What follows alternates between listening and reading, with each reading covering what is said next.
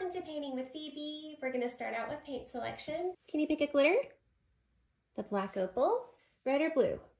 The blue, green or purple? The purple. Let me get this started for you. Sweet pumpkin, oh my goodness. Okay. Okay, baby, I'm working on it. I'm working on it, I promise, honey.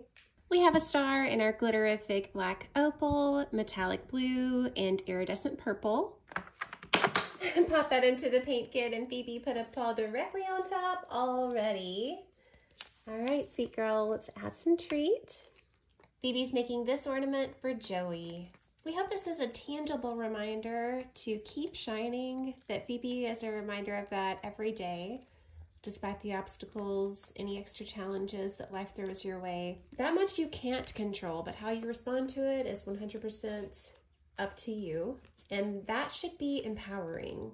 That should not be pressure. That should not be negative. That should be something that you take and realize, you know what, that's something that I absolutely have the ability to be the boss of. So let me go ahead and put that in my own hands because it is and make the best of it. Phoebe, flopping back. You ready to take a look? There's our painted side. And back here we'll add Phoebe's pawtograph. Joey, keep shining.